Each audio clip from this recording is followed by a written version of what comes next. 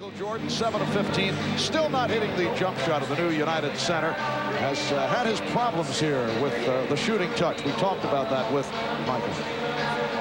I think it's more mental than anything. I think um, in my mind for the last three or four years, I was fixed that I wouldn't play in that building. And I, well, I didn't want to play in that building. I love Chicago Stadium. And now that I'm playing in the, in the building, I have to make my mind accept it. I have to accept it mentally. And I haven't quite accepted it yet.